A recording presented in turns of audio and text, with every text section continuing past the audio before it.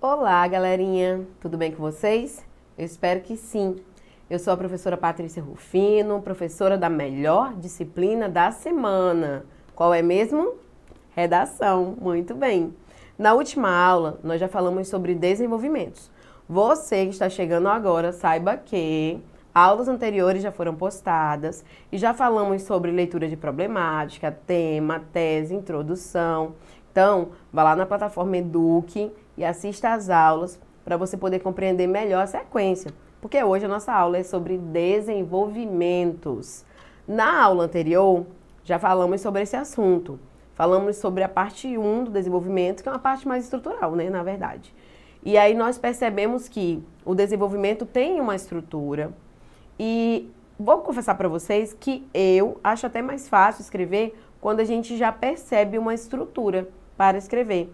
Mas a escrita é algo muito particular. Cada um tem as suas próprias estratégias. Às vezes seguem estratégias recomendadas e às vezes encontram outras estratégias aí para escrever, né?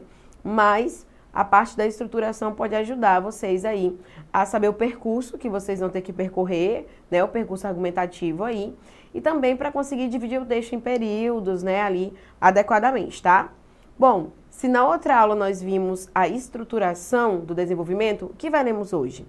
Hoje nós vamos revisar um pouco mais sobre estrutura e vamos falar sobre repertório sociocultural, tá bom? Ok? Então vamos lá? Bom, vamos primeiro focar aqui na introdução da aluna Giovana Gamba Dias. Aos 19 anos, ela fez mil lá na redação do Enem. Vocês estão vendo pela colorimetria as partes que estão ali descritas na lateral da tela para vocês. Então, a primeira parte é o contexto, a segunda é a associação à problemática e o fechamento ali da introdução. Se espera que a introdução é, seja dividida com pelo menos três períodos. No caso, a Giovana ela conseguiu fazer os três períodos, mas há textos mil com quatro e até cinco períodos. 3 é a distribuição mínima de períodos esperada para o tamanho desse parágrafo de introdução, que fica entre 5 e 7 linhas, tá bom? Voltando lá, vocês vão perceber que ela começou com um contexto. Também chamamos de estratégia, nome diferente para a mesma coisa. E ela começa com a obra Os Retirantes, tá? Você pode pa pausar a aula agora e buscar essa imagem. Mas, quando você encontrá-la, você vai ver que você já passou por ela durante seus anos de formação. Nesse quadro, Os Retirantes, o Postinari, ele retrata uma família de retirantes que estão numa situação de seca, né? Uma situação ali é, que o contexto geográfico ele acabou influenciando na condição ali de vida daquelas pessoas, tá bom? Ela diz: em sua obra Os Retirantes, o artista expressionista Cândido Postinari faz uma denúncia à condição de desigualdade compartilhada por milhões de brasileiros, os quais, vulneráveis socioeconomicamente, são invisibilizados enquanto cidadãos. Calma, vá devagar. Primeiro ponto que eu quero revisar com vocês é que ela usou um quadro plástico. É isso mesmo, uma obra plástica. E você lembra lá na aula de introdução que a estratégia pode sim ser um quadro plástico, pode ser uma música, um filme, uma série, um livro, um momento histórico. O importante é, para começar a redação, eu preciso de um contexto, de uma estratégia. Nunca começar diretamente com a frase temática. A frase temática vem depois, tá? Vocês vão perceber também que ela, que ela colocou da seguinte forma: diz que ele faz uma denúncia à desigualdade é, compartilhada por milhões de brasileiros. Gente, o quadro não tem milhões de brasileiros, vocês vão ver que tem uma família. Só que a gente entende que a desigualdade ela acontece de formas diferentes e que muitos brasileiros vivem um contexto de desigualdade, tá? Outra coisa que vocês vão perceber, não só na estratégia, mas ao longo do texto, é que ela trabalha as palavras da frase temática. Então ela usa invisibilizados ela usa ali socioeconômico para falar da desigualdade né, em si. E aí você deve lembrar que o tema do Enem neste ano em que ela tirou mil foi a invisibilidade do registro civil, garantia de acesso à cidadania no Brasil. Então ela acaba retomando essas palavras-chave aí que foram colocadas né, é, na própria proposta do Enem. A crítica de Postinari continua válida nos dias atuais. Isso porque ela entende que esse quadro já tem certo tempo. Então ela traz para o leitor a informação de que ela compreende que o tempo passou, mas ela dá uma informação preciosa. Ela diz que essa crítica continua válida, ela continua né, acontecendo, atuando. Mesmo décadas após a pintura ter sido feita, como se pode notar a partir do alto índice de brasileiros que não possuem registro civil de nascimento, fator que os invisibiliza. Gente, aqui ela fala que é um alto índice. Ela não colocou números, mas nós entendemos que é um alto índice porque os textos motivadores que vocês já observaram, né, ali em aulas anteriores, eles trazem dados. E aí, neste caso, um dos textos motivadores mostrava é, a quantidade de pessoas que não possuíam registro de nascimento por região. Então, tinha o valor no, do norte, do nordeste, do sul, do sudeste do centro-oeste. Então, ao ver aqueles números, a Giovana percebeu que eram números significativos, tá bom? E para fechar a introdução, ela traz ali é, mais um período, né, dizendo assim: com base nesse viés, é fundamental discutir a principal razão para a posse do documento, para a posse do documento promover a cidadania. Gente, ela vai falar da principal razão, o motivo para as pessoas terem o registro de nascimento. E depois ela diz, bem como o principal entrave, a principal dificuldade que impede que tantas pessoas se registrem. Veja só, na introdução é possível fazer dois tipos de fechamentos. Fechamento apresentando o desenvolvimento 1 e 2 e fechamento apresentando uma intervenção suave. A Giovana escolheu representar os argumentos 1 e 2. Então eu já sei que no desenvolvimento 1 ela vai falar sobre a razão para se possuir o registro civil. E no argumento 2, ela vai falar sobre o que dificulta né, tantas pessoas chegarem a ter este documento. Ela dividiu os argumentos aí nos parágrafos. Por isso é importante que vocês elenquem dois argumentos, nem três, nem quatro. Até porque na competência 3 você precisa mostrar que sabe selecionar. Se você traz cinco, seis, sete argumentos, pense, você vai garantir o desenvolvimento de sete argumentos? Sete problemas relacionados à temática geral? Será que o texto vai ficar bem explicado? Será que com sete argumentos eu vou conseguir chegar ali à conclusão do meu texto como esperado, trazendo uma proposta interventiva? Sete é muito, quatro é muito. A ideia é, você precisa selecionar.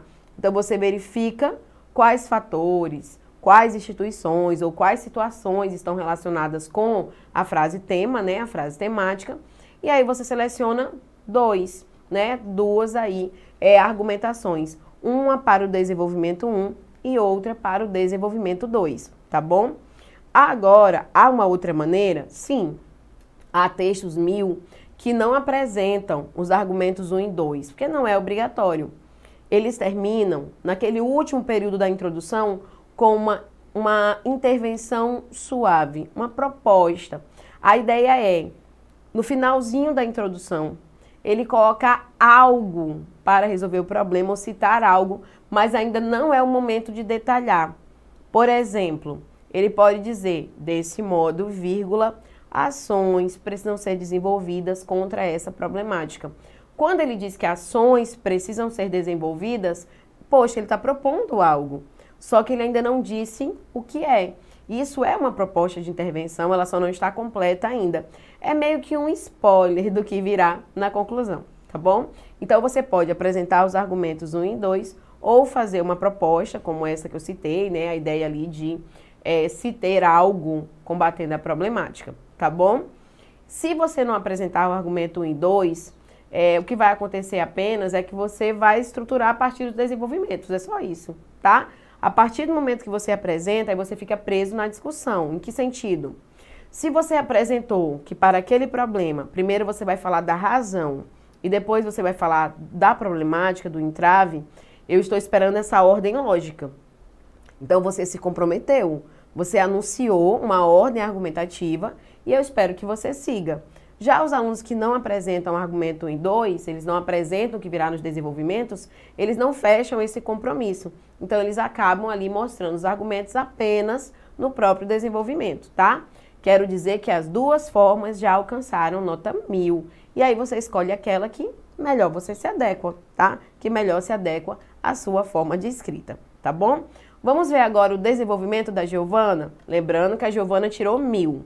A Giovana começa dizendo assim: com efeito, neste momento ela pontua na competência 4, competência dos conectores. Nota-se que a importância da certidão de nascimento para a garantia da cidadania se relaciona à sua capacidade de proporcionar um sentimento de pertencimento. Gente, essa primeira parte é o que nós chamamos de tópico frasal. Como vocês viram na aula anterior, é um anúncio, um resuminho do argumento que você vai defender, tá bom? Eu quero que vocês notem que foi destacada a expressão importância da certidão de nascimento. Porque lá na introdução a Giovana disse que vai falar da razão, né? Da razão ali é, para as pessoas possuírem esse documento. Então ela traz a palavra-chave no lugar de registro de nascimento, ela traz certidão. E ela me dá uma, um direcionamento, uma dica do que ela vai falar. Ela usou sentimento de pertencimento no tópico frasal. Então eu estou esperando que ela explique o que, que ela vai falar, o que, que ela vai dizer, discorrer sobre sentimento de pertencimento. Aí ela vai para o segundo período.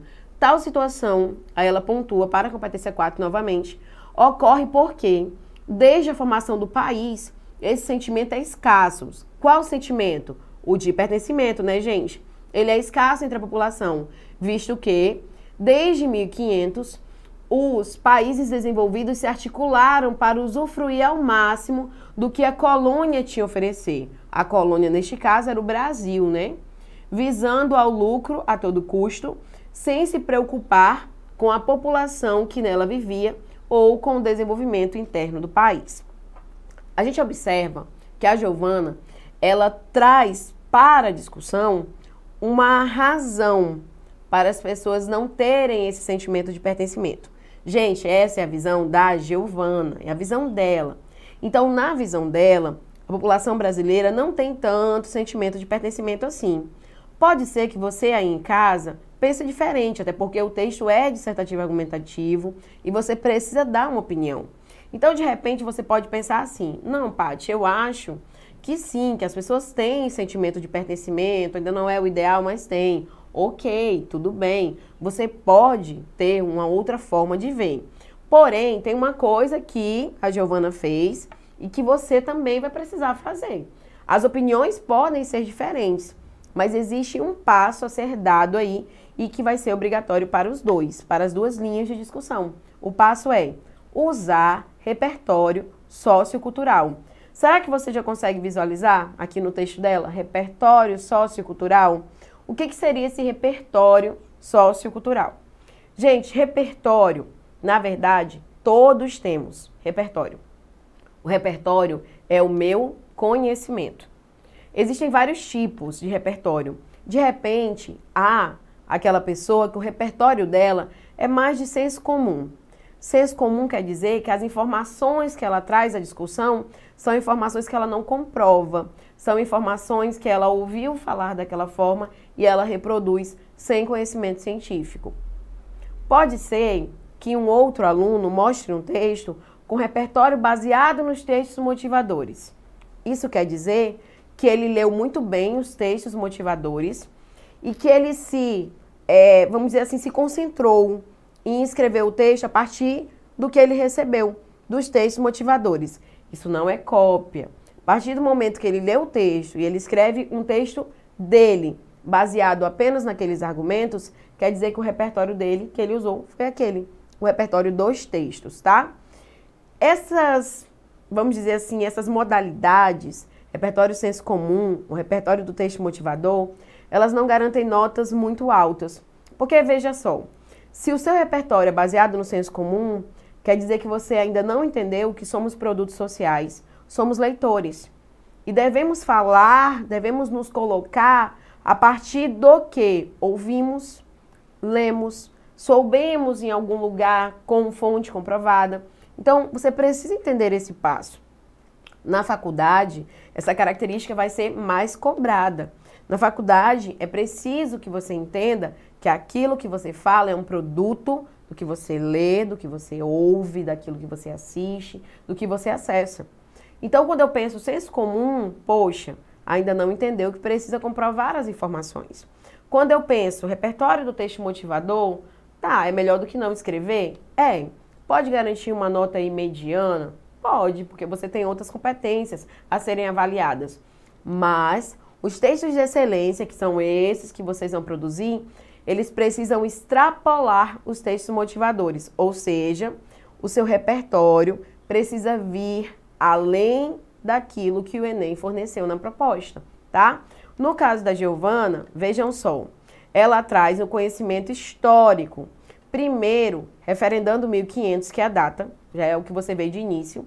Segundo, ela faz a referência ao Brasil colônia, que é esse momento histórico ali, e ela fala que aqueles que nos colonizaram não se importaram com as pessoas que aqui viviam e isso afetou o nosso sentimento de pertencimento. Concordando ou não com a Giovana, é preciso perceber que o texto dela é coerente. Ela, ela estabeleceu uma linha discursiva e se você ler com cuidado e atenção, você vai ver que a discussão dela é passiva, pode ser sim real, porque ela faz isso de modo coerente, tá? Ai, professora, mas só isso é suficiente? Olha, até seria, mas a Giovana vai além do esperado. No terceiro período, ela traz o historiador Caio Prado Júnior, né? E aí ela fala que ele diz que o Estado aí é formado por bases frágeis. Esse Estado, com letra maiúscula, na verdade ela está falando do nosso país, né? O país, o Brasil, foi montado com bases frágeis. Mas o que isso significa? Lá no processo colonizador, né, Brasil colônia, nós sabemos que é, Portugal né, que era nosso colonizador oficial, ele usufruía dos benefícios das terras brasileiras. Eles acabavam tirando aqui do Brasil é, aquilo que poderia gerar lucro para eles. É isso que ela está tentando colocar ali no texto. E aí, quando Portugal vem explorar o Brasil, ele não pensa em instituir no Brasil uma colônia civilizatória, ele não pensa em construir no Brasil um grupo organizado com direitos básicos, como educação, saúde, né, ou outros direitos que são elencados aí hoje já, né, na nossa Constituição Federal. Eles apenas chegaram e vieram para explorar. A partir do momento que a família, né, a corte real portuguesa, ela vem para o Brasil, eles têm que fazer isso de modo acelerado e às vezes desordenado, não houve tanto tempo para organizar, e aí acabou fazendo o que dava e do jeito que dava. É isso que ela quis dizer quando ela fala que foi um Estado formado com bases frágeis. Ela está falando da nossa base lá de colonização, que não foi aí formado para essa existência em uma sociedade aí que se organizasse de uma maneira mais independente, tá bom? E aí vocês vão perceber que para fechar, a gente esqueci de destacar, né, ainda em tempo. Ela não usou aspas no discurso, porque as aspas revelam um discurso direto. Discurso direto é aquele que você escreve igualzinho a pessoa falou, aí você bota aspas, você coloca o que a pessoa disse e fecha aspas. Esse discurso, que é o discurso direto, pode ser usado na redação. O outro que vocês viram no texto da Giovana é discurso indireto. É aquele que você faz sem as aspas, mas ele tem o mesmo valor que o discurso direto. Você só precisa ter o cuidado de manter a paráfrase. O que isso quer dizer? Você precisa ter o cuidado de não mudar o sentido é, do que o autor quis empreender ali falar, tá bom? Então, ao fazer uma paráfrase, um discurso indireto, lembre-se de interpretar o que o autor quis falar e trazer a discussão para esse sentido que foi dado pelo autor, tá bom? Os dois argumentos são válidos, direto ou indireto. Para fechar, ela usa desse modo, que é uma conclusão, e ela retoma o tópico frasal. A posse de documentos, como a certidão de nascimento, funcione como uma espécie de âncora para uma população com escasso sentimento de pertencimento. Gente, vejam, ela diz escasso sentimento de pertencimento. Ela não diz que ele não existe. Então, agora, para concluir, ela deixa claro que, tá, existe o pertencimento, esse ideal de pertencimento, mas ele é escasso. Professor, eu ainda não entendi. Vamos lá. A partir do momento que você nasce, você nasce numa maternidade oficialmente, você vai ser recebido como cidadão daquela cidade. Além do registro de nascimento, que hoje é feito logo quando a criança nasce, você recebe uma certidão mesmo, um certificado, dizendo que você é um cidadão daquele local. E isso te garante direitos. A maioria de vocês que estão acessando essa aula deve ter feito esse registro muito novinho. Pergunte para sua mãe ou para o seu pai, que eles vão confirmar, né? Sua avó, seu tio, enfim, a pessoa aí da sua referência familiar, para você perceber que sim, você foi registrado muito novinho. Mas alguns brasileiros não chegam a morar nas cidades. Eles moram, às vezes, em lugares afastados, de difícil acesso. E aí, muitas vezes, esta criança, quando nasce, ela não é registrada logo ali. E às vezes ela só vai sentir a necessidade do registro quando ela necessitar de necessitar, por exemplo, estudar, necessitar de um atendimento de saúde. É aí que ela vai perceber que ela precisa de um registro de nascimento. O Brasil é territorialmente enorme. Então, nós temos uma diversidade muito grande entre lugares que são super desenvolvidos, que estão à frente, tem muitas políticas públicas de atendimento, e lugares que são muito afastados, né? Que o acesso ainda é restrito. Então, nesses lugares se concentram aí a maior parte da população que não vê a necessidade de fazer um registro civil, né? Não vê ali a necessidade porque não costuma no seu dia a dia fazer o uso desses documentos tá bom? Bom, eu espero ter conseguido esclarecer mais um pouquinho aí para vocês, tá? Esse foi o desenvolvimento 2 da Giovana, certo? E aí vocês vão ver que já tá ali a estrutura. E aí, gente, que tal pausar essa aula agora e identificar cada estrutura dessa, né? O tópico frasal, o repertório, explicação, né? Fechamento, como foi feito. E aí depois você volta aqui para com as suas percepções, você poder aí dividir conhecimento, né? Aí somar com o que eu vou colocar agora, tá bom? Pausou? Voltou? Tá bom. bom, vocês podem perceber que nós temos ademais, acontece, porque, isso, então, assim, a partir dessa educação falha, já que destaquei de rosa para você entender que foram momentos de ligação, momentos em que a escritora Giovana, ela conectou as ideias e isso é avaliado pelo Enem em uma competência, tá? Vocês vão notar ainda que ela faz o tópico frasal do desenvolvimento 2 e aí ela vai falar do entrave mesmo, gente. Inclusive ela retoma, ó. Percebe-se que o principal entrave que impede que tantas pessoas no Brasil não se registrem é o perfil da educação brasileira, o qual tem como objetivo formar a população apenas como mão de obra. Lembrando, essa é a visão da Giovana. E aí a Giovana falou isso, e aí fica a responsabilidade de comprovar.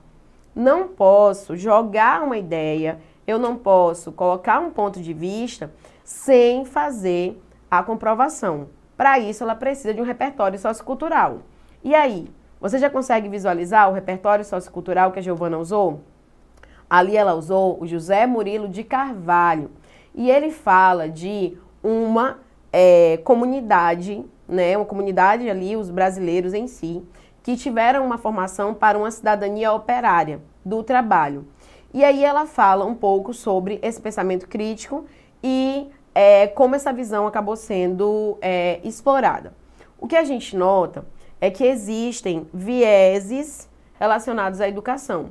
Hoje, por exemplo, nós já temos uma educação, e aí a gente chega para o novo ensino médio com essa ideia, de que é preciso formar sim para o mundo do trabalho, mas também para você gerar autonomia, para você ter protagonismo, para você continuar os estudos em nível superior, né? Se isso fizer parte dos seus planos. Então, e podem, né, fazer. Então, assim, a gente já vê que o ensino médio hoje, ele tem, o novo ensino médio, ele tem várias, né, assim, várias possibilidades.